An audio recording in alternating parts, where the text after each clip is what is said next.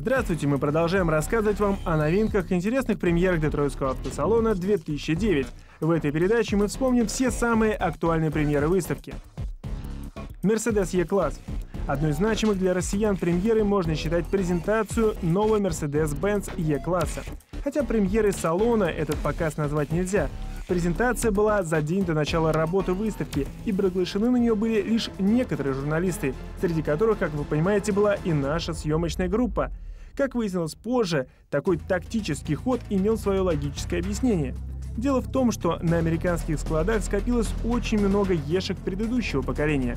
Так что в Америке машина появится не раньше середины этого года, а официальная публичная премьера будет во Франкфурте. Ну, что же сам автомобиль? Он серьезно изменился как внешне, так и изнутри. Если экстерьер многие сочли неоднозначным, то к интерьеру никаких претензий, все красиво и дорого. Теперь E-класс будет продаваться под лозунгом «Добро пожаловать домой». По всей видимости, это намек на то, что автомобиль стал еще более комфортным. Что ж, остается только гадать об этом, дожидаясь первых тестов. За это время мы обязательно сможем прочитать толстенную брошюру многочисленных новых электронных и технических наворотов новой Ешки, чтобы подойти к тесту с полной самоотдачей. BMW Z4. А вот BMW-шникам скрывать, видимо, было нечего, поэтому под многочисленные и восторженные аплодисменты выкатили на стенд новый купе-кабриолет Z4. Именно так, купе-кабриолет. Баварцы отказались от двух автомобилей, так что у покупателя больше не было возможности выбирать между жесткой крышей и мягким верхом. Интересный факт, что новый автомобиль нарисован двумя молодыми дизайнерами, причем девушками. Разработка интерьера стала чуть ли не дипломной работой. Пожелаем удачи молодым дарованиям, возможно, за этими милыми дамами будущее марки. Что же касается технических характеристик, то пока под капотом рядные шестерки мощностью от 204 до 306 лошадиных сил. Привод, естественно, задний, трансмиссия автоматическая, но для самой мощной версии в качестве опции прилагается коробка передач с двумя сцеплениями. А вот насколько хороша машина на дороге, сказать пока сложно. Даром, что крыша алюминиевая, но в открытом и закрытом положении ее масса, по идее, распределяется относительно оси автомобиля по-разному. Так что будем ждать первых тестов и, конечно же, модификации автомобиля с магической литерой М на крышке багажника. Открытую версию второго поколения поклонники марки ждали больше года, как говорится, дождались. Мировая премьера состоялась, машина с опущенным верхом эффектно пробила стену декорации, олицетворяющую ледяную стену, и предстала восторженным журналистам и сотням объективом кино и фотокамер. Заметим, что ожидания любителей марки автомобиль оправдал полностью. Новый мини, как и прежде, щеголяет мягким складным верхом. Да здравствуют винтажные мотивы! Такое решение дизайнеров оправдано на все 100%. Под современной мини-машина полностью самостоятельная, не имеющая ничего общего с легендарными английскими родственниками, установить на эту красавицу жесткий складной верх было бы просто преступлением. Что касается технической начинки, то открытая версия полностью соответствует своим собратьям с металлической крышей Cooper и Cooper S. Тот же 1600-кубовый силовой агрегат, демонстрирующий 115 или 175 лошадиных сил, трансмиссия механическая, но для тех, кто больше ценит комфорт, нежели спортивный нрав, в качестве опции прилагается шестидиапазонный автомат. На стенде ребят из Ингольштада на Детройтском автосалоне мы познакомились с двумя новинками. Первая без пары секунд серийный спорткар R8. Не стоит винить нас в некомпетентности. Безусловно, R8 уже давно серийный автомобиль, только теперь он обзавелся мощным V-образным 10-цилиндровым двигателем.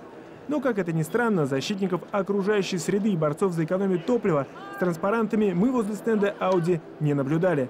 Безусловно, купе пришлось по вкусу. Шутка ли, практически идеальное шасси, алюминиевый монокок и сногсшибательная внешность – все это нуждалось в таком двигателе. Ведь многие ругали этот автомобиль именно за его неторопливость. Владельцев «Жигулей» просим не беспокоиться, сейчас мы говорим о динамике спорткаров. Теперь же статус-кво восстановлен. К слову, крутящий момент от мощного двигателя передается на все колеса благодаря фирменной аудюшной системе Quattro. Постарались и дизайнеры, дополнив сформировавшийся образ купе несколькими новыми элементами, добавив тем самым облику авто еще больше агрессии. Теперь конкурентам остается только утирать носы и спешно ретироваться. Вторая звезда на стенде Audi – Sportback Concept. Пока это еще концепт-кар, но уже практически предсерийный. Машина, еще не успев появиться, заочно получила шильдик А7. Это недалеко от истины. Концепт построен на базе А6 следующего поколения и, как вы понимаете, больше нынешнего поколения шестерки по размеру. Приятно, что маркетологи Audi не ездят по ушам спорными терминами и не величают концепт четырехдверным купе, честно продавая новинку в качестве пятидверного хэтчбека. И это правильно. Точность, вежливость королей. Безусловно, автомобиль получился очень удачным. Дизайнеры марки уже давно стремятся к роскошному минимализму, и на примере спортбека можно с уверенностью утверждать, что цели они достигли на все сто процентов. Сдержанная, но в то же время элегантная и в меру спортивная внешность идеально сочетается с роскошным салоном, который, в свою очередь, визуально не перегружен ненужными и аляповатыми прибамбасами. Остается только дождаться, когда этот автомобиль поступит в серийное производство. Хочется надеяться, что к этому моменту спортбэк не сильно изменит свою внешность. А эта пара автомобилей запросто может сорвать куш на российском рынке и стать бестселлером. Седан Mazda 3 был показан на автосалоне в Лос-Анджелесе в прошлом году, и с этим автомобилем мы уже так или иначе знакомы.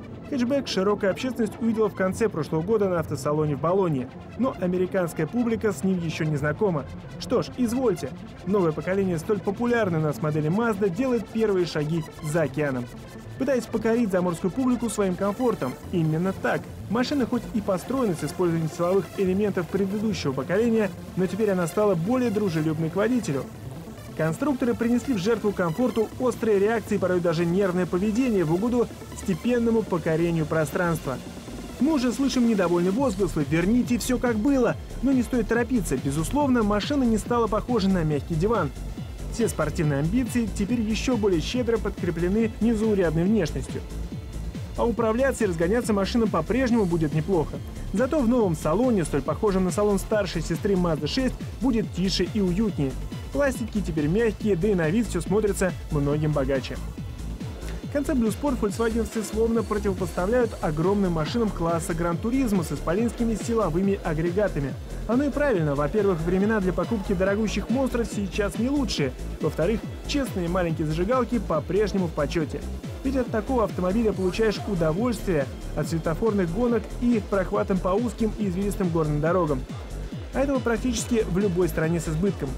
А вот автобанов без скоростных ограничений раз-два и обчелся.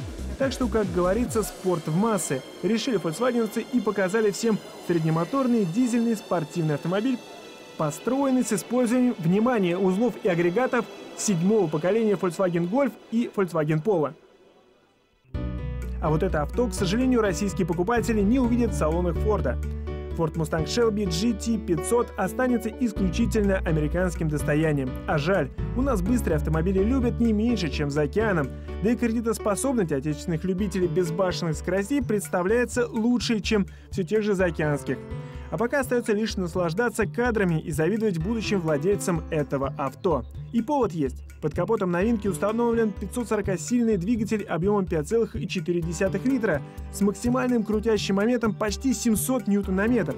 V-образная восьмерка работает в паре с механической шестиступенчатой коробкой передач Tremec, а останавливает этого безумного монстра мощная тормозная система Brembo. На всякий случай небольшая справка. Отличить Shelby GT500 от стандартного Мустанга достаточно просто.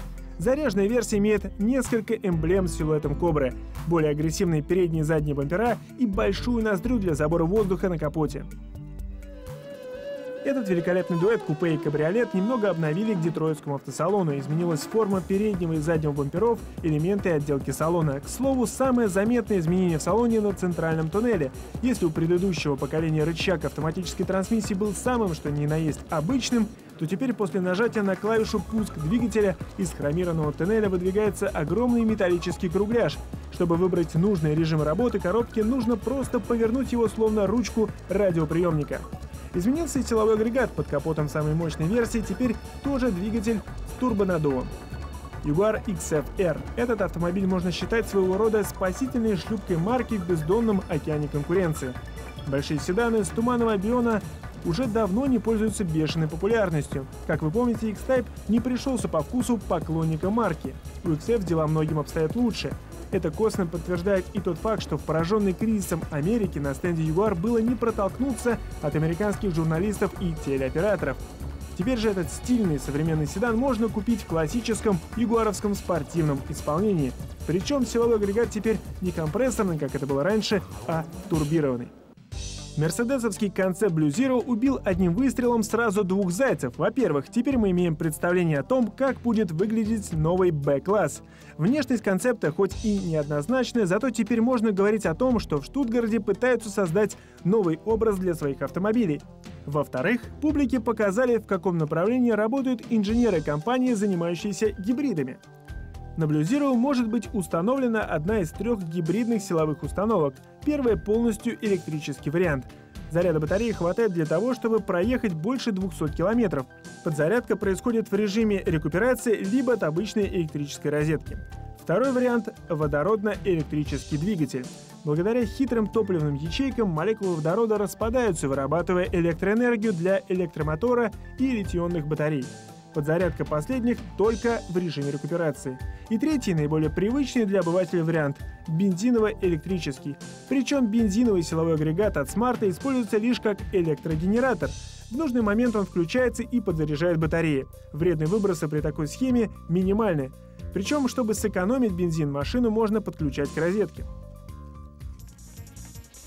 Макларен SLR Stirling Moss этот автомобиль — лебединая песня семейства McLaren Mercedes SLR. Создавая новый McLaren SLR, дизайнеры окунулись в мир гонок 50-х годов прошлого века, обратив свои взоры на гоночные автомобили Mercedes, за рулем которых блистал легендарный английский гонщик Стерлинг Мосс. Ребята взялись за работу.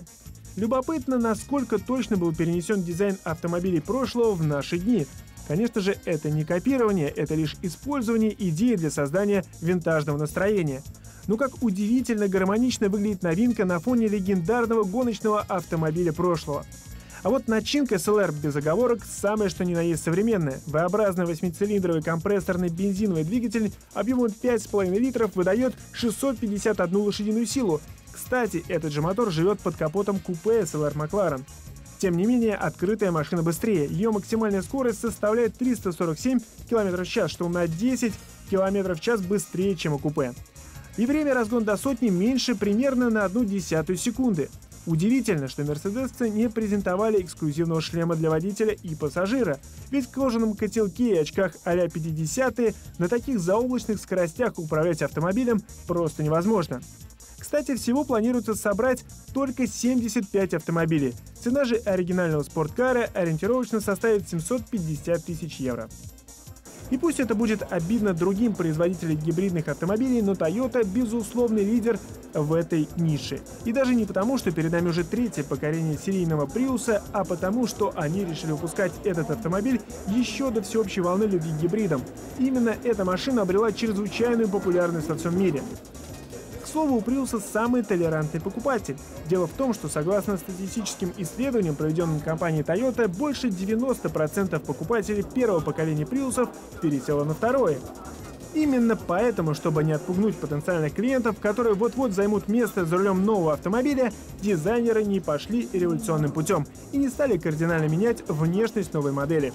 Хотя, безусловно, это абсолютно новый автомобиль, который смотрится многим интереснее предшественника. Сделали и подарок будущим покупателям инженеры. Под капотом полуторалитровый силовой агрегат сменил 1800-кубовый. Перелопатили гибридную силовую установку, поголдовали с батареями, благо прогресс не стоит на месте. Хотя принципиально схема нового Приуса остается прежней. Машина передвигается при помощи электромотора, а если его мощности недостаточно или батарея не успевает зарядиться в режиме рекуперации, в работу подключается бензиновый силовой агрегат.